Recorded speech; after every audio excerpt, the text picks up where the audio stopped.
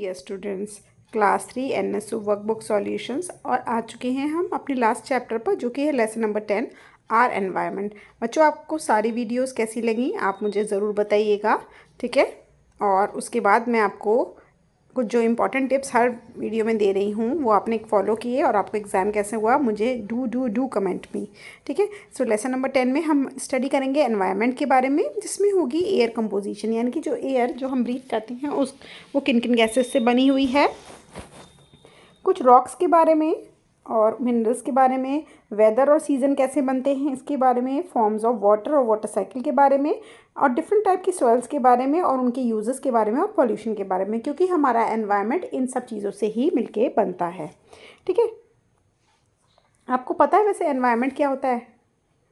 Environment वो होता है जिसमें आप रहते हो। आपकी आबो हवा आप soil air water living beings all the things around you constitute constitute your environment ठीक है? अब शुरू करते हैं। यहाँ पर हमें एक साइकिल दिखाई है, इसके बारे में स्टडी करेंगे। जब हम ब्रीथ करते हैं तो हम प्लांट से ऑक्सीजन लेते हैं। हम कार्बन डाइऑक्साइड को अपनी बॉडी में से निकालते हैं। वही कार्बन डाइऑक्साइड प्लांट्स ले लेते हैं, ठीक है? और वो अपना फोटोसिंथेसिस बनाते हैं और फोटोसिंथेसिस बनाने के बाद वो ऑक्सीजन रिलीज़ करते हैं, जो कि ह्यूमन बींग्स के लिए बहुत ज़रूरी होती है। इसीलिए कहा जाता है कि plant more and more trees ठीक है? Air is all around us moving air is called wind जो बहने वाली हवा होती है, उसे विंड कहते हैं। और प्यारी विंड को जो हमें अच्छी लगती है और ठंडी होती है, उसे ब्रीज़ कहते हैं। और जब हवा बहुत ही गर्म, बहुत ही तूफ़ानी हो जाती है तो उसे स्ट्रॉम कहते हैं। ज़रूरी नहीं होता स्ट्रॉम गर्म हो बट वो भयंकर रूप होता है एयर का विंड का। एयर कंटेन गैसेस एयर के अंदर बहुत सारी गैस मिक्स होती हैं, जो कि होती हैं oxygen carbon dioxide nitrogen water vapour हल्की सी नमी डस्ट और स्मोक एंड जर्म्स ये सब मिक्स होते हैं। कोरोना के टाइम में आपने देखा ही था एयर से ही लोगों को कोरोना हो रहा था क्योंकि उसमें अंदर जर्म्स थे। वी नीड एयर हमें एयर तो ज़रूर चाहिए। बेसिक रिक्वायरमेंट हमारी ब्रीथ करते हैं।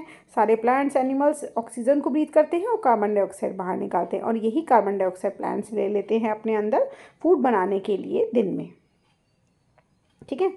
वाटर इसके बारे में वाटर के बारे में पढ़ते हैं आप सबको वाटर की कितनी रिक्वायरमेंट होती है और वाटर साइकिल एक हमारे एटमॉस्फेयर में ऑपरेट करती है।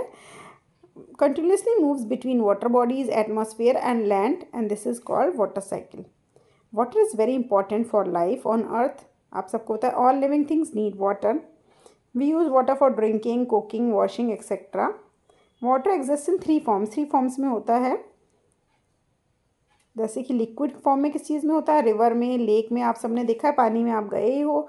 गैस फॉर्म में होता है वाटर वेपर की फॉर्म में, जो हमें दिखता नहीं है। और सॉलिड फॉर्म में होता है जैसे पहाड़ों पर, वैष्णो वैष्णो देवी वगैरह कभी गए हो तो वहाँ पर स्नो जैसे पड़ी रहती है। ठीक है?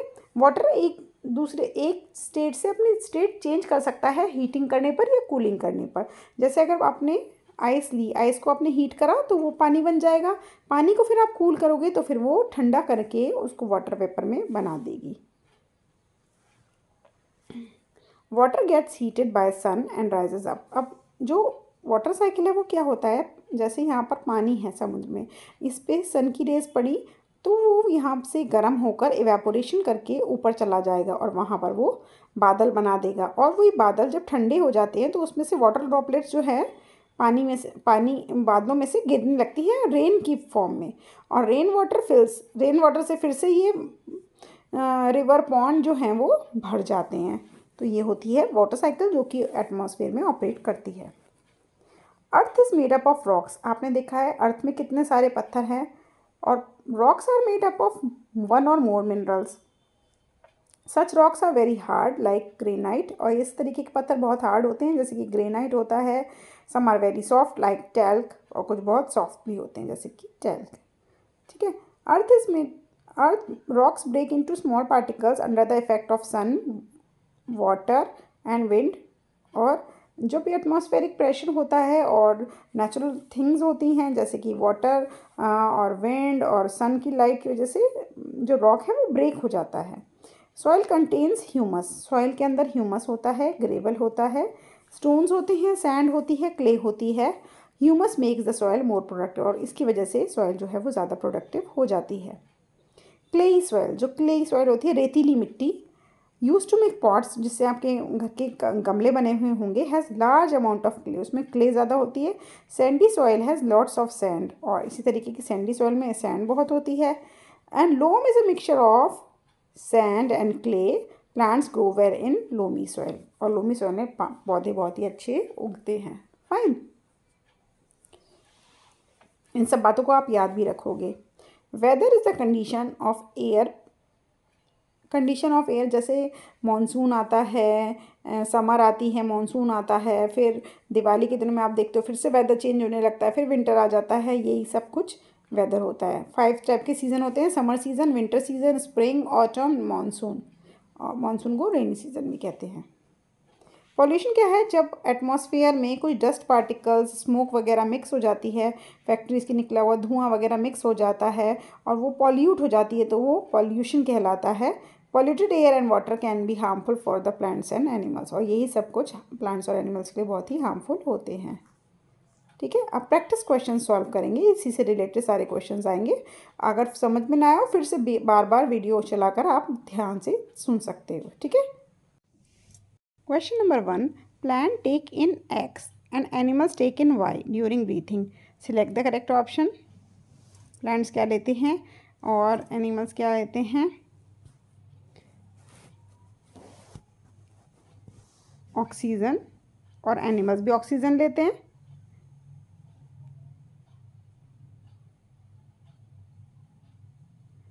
सेकेंड है कार्बन डाइऑक्साइड और कार्बन डाइऑक्साइड कार्बन डाइऑक्साइड और ऑक्सीजन तो इसमें जो करेक्ट ऑप्शन है both plants and animals take in oxygen and give out carbon dioxide during डीथिन breathing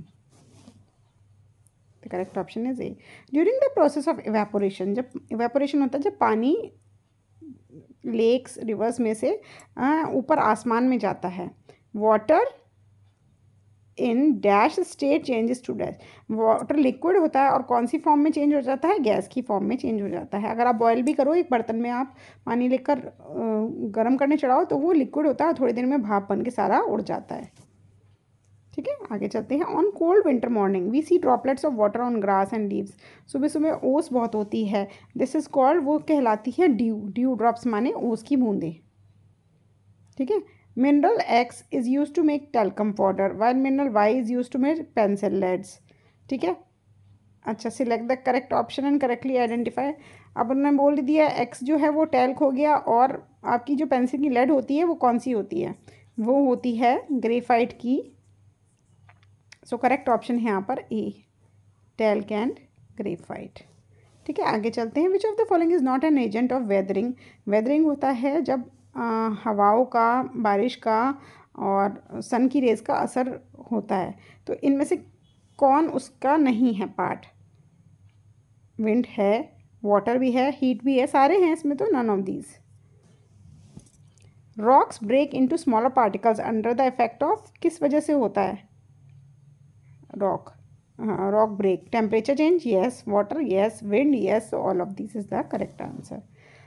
select the symbol that indicates the weather in which we need to wear both the items shown ये गम boots और ये raincoat हमें कौन से weather में पहनने पड़ते हैं? जब बहुत बारिश होती है, उससे बचने के लिए। The correct option is the B part the given graph shows the temperature of water as it is heated the period from X to Y shows X से वाई तक का स्टेगनेंट पीरियड ये क्या शो करता है? ये show करता है बॉइलिंग पॉइंट मतलब इतना बॉयल हो चुका है, इससे ज़्यादा वो बॉयल नहीं होगा। So it's a stagnant feet it shows the boiling point of the given graph अब आपको पता बॉइलिंग पॉइंट है कितना? बॉइलिंग पॉइंट होता है हंड्रेड डिग्री सेल्सियस पानी, इतने डिग्री पे मैक्सिमम बॉयल हो पाता है। The given figure shows a cycle of change अच्छा। In state of water what are X Y Z हाँ तो ये इसकी डिफरेंट फॉर्म्स होंगी। क्या क्या बनेगा? जब वाटर को यहाँ से शुरू करते हैं, चलो। जब वाटर को आपने हीट किया तो एक्स में वो क्या बनेगा? वो स्टीम बन जाएगा, भाप बन जाएगा। स्टीम को आप फिर ठंडा करोगे तो फिर वो वाटर बन जाएगा। और वाटर को फिर आप कूल करोगे तो फिर वो आइस बन जाएगी। आइस को हीट करोगे तो फिर वाटर बन जाएगा। तो सही सही हम यहाँ पे दिख रहे हैं। स्टीम तो पता ही होगा आपको, भाप होती है। The correct option is the D part tenth पे चलते हैं। What is the importance of air in soil air किस एयर में एयर सॉयल में एयर का क्या रोल होता है? It holds water that plant can absorb नहीं। It helps the soil particles to stick together नहीं। It allows plants plant roots and soil animals to breathe हाँ। अगर इसमें एयर नहीं होगी तो ये लोग ब्रीथ कैसे करेंगे? तो correct option is the C part in which of the following soils pulse grow well pulses कौन सी में अच्छी वो करती हैं? पल्सेस होती हैं दालें। दालें कौन से उसमें अच्छा महसूस करती हैं? ग्रो होती हैं लोमी सॉइल में। हमेशा याद रखिए, pulses grow well in loamy soil. Select the option which on unscrambling gives the name of the type of soil that has a lot of space between its particles and is found on seashore. किस तरीके की होती है पहले इसको unscramble करेंगे ये है लोमी सॉइल ये है ह्यूमस ये है सैंडी और ये है क्लेई अब आप बताओ सी समुद्र के किनारे पे कौन सी ज़्यादा अच्छी होती है आ, कौन सी ज़्यादा सैंड होती है ना सैंडी है सॉइल थर्टीन पे चलते हैं which of the following rocks can not be use for making floor granite से बनता है, काला वाला होता है मार्बल से बनता है, मेरे घर का है चौक से बनता है कोई? ना बाबा चौक से कोई नहीं बनता। The wrong is C part match the columns of one फिर two with the correct options fourteen पे हम पहुँच चुके हैं नॉइज़ पॉल्यूशन किससे होता है? नॉइज़ पॉल्यूशन होता है अननेसेसरी ब्लोइंग ऑफ़ हॉर्न्स ठीक है? एयर पॉल्यूशन किससे होता है? फैक्ट्री चिमनीज से होता है। वाटर पॉल्यूशन किससे होता है? Bathing in rivers etcetera etcetera throwing untreated waste in water bodies इससे भी होता है। तो करेक्ट ऑप्शन हमें यहाँ पे सी मिल गया। फिफ्टींथ है the diagram below shows the sample of sticky tapes and that were left with their sticky surfaces exposed to air at different locations. This this is ठीक है? स्टिकी टेप्स हैं, वो sticky surfaces पे जब air के contact में आते हैं तो वो कैसे करेंगे? From the amount of dust stuck on the sticky surface select the area which has the maximum minimum level of air pollution आप भी बताओ मिनिमम लेयर ऑफ़ पॉल्यूशन किसमें होगी? सबसे कम इसमें चपकी है, सबसे ज़्यादा इसमें, सबसे कम इसमें। तो सबसे कम किसमें हुई? इसी में तो हुई ना? ए इज़ एक्स सबसे कम पॉल्यूशन यहाँ दिख रहा है, यहाँ ज़्यादा दिख रहा है, यहाँ तो सबसे ज़्यादा दिख रहा है, यहाँ थोड़ा कम दिख रहा है।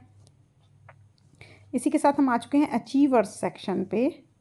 Anamika look three troughs troughs each containing equal amount of soil taken from different location. Anamika poured 500 ml of water gently onto the soil in each trough. Her observation after 30 minutes is shown in the given ठीक है, उसने भर दिए तीन container में और फिर उसने डाल दिया 500 मिलीलीटर ऑफ़ पानी। अब उन्होंने सब एब्जॉर्ब कर लिया। According to the observation which trough contains the soil that is most likely to be found in the base of the pond pond area में कौन सी तरीके की सॉइल मिलती है? इनमें से कौन सी तरीके की सॉइल होगी?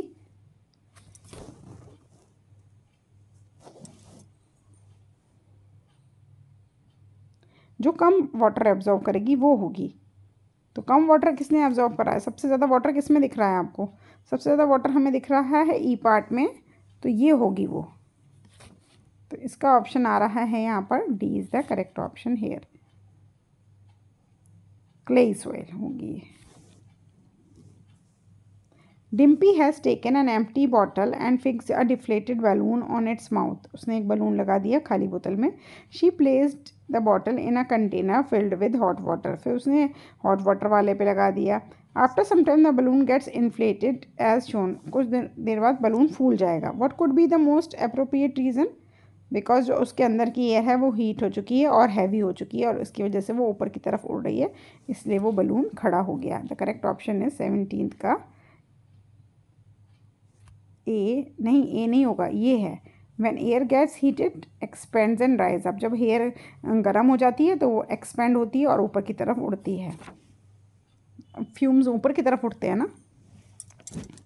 एटीनथ पे चलते हैं। Three identical containers X Y Z are filled with the same amount of tap tap water boiling water and ice respectively X में तो डाल दिया हमने टैप वाटर वाई में डाल दिया हमने गर्म पानी और जेड में डाल दिया हमने ice cubes.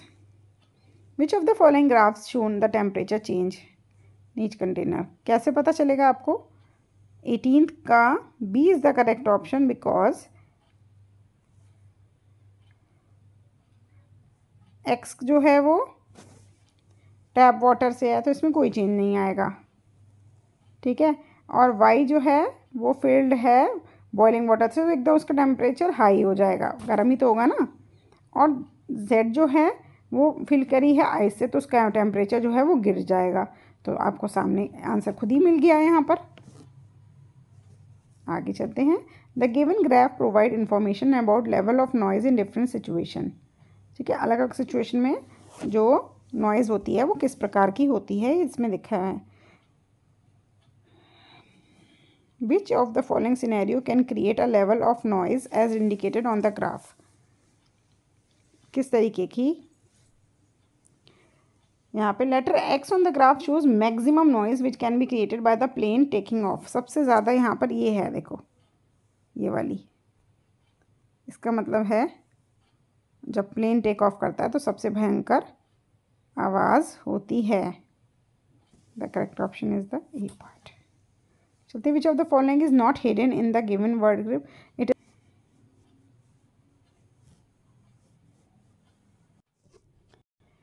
it is a fertile type of component ये कौन सा कॉम्पोनेंट होता है? फ़र्स्ट है यहाँ पर। देखिए ह्यूमस जो कि मुझे यहाँ दिख रहा है। H U M U S humus ये रहा। ठीक है? उसके बाद सेकेंड है glass is made up of this type of soil वो होती है sandy soil S A N D Y sandy यहाँ पे मुझे दिख रही है जी एक्स्ट्रा हो गया। तो ये दोनों तो मिल गए हैं। Third it is a form of water that is often seen in the form of droplets on leaves on grass वो होती है ड्यू ड्यू ड्रॉप्स उसकी बूंदे, ये भी मुझे मिल गया है। जो फोर्थ मुझे यहाँ पर नहीं मिला है, वो है it is a condition caused by too much rainfall वो होती है फ्लड बहुत सारी बारिश हो जाना इज़ लाइक फ्लड फ्लड मुझे यहाँ कहीं नहीं मिला है। आप इसमें कन्फ्यूज़ मत हो जाना। ड्रॉट का मतलब होता है सूखा पड़ जाना, यानी कि बारिश बिल्कुल भी नहीं होना। तो जो ऑप्शन मुझे नहीं मिला है यहाँ पर, वो है डी तो बेटा ये था एन एस ओ वर्कबुक का सॉल्यूशन आई होप मैम ने आपको बेस्ट से बेस्ट पढ़ाया होगा और मैम ने आपको हेल्प करी होगी। वीडियो पसंद आई है तो लाइक कर देंगे। I want you to be the achiever of N S O all the very best by my best wishes for your bright career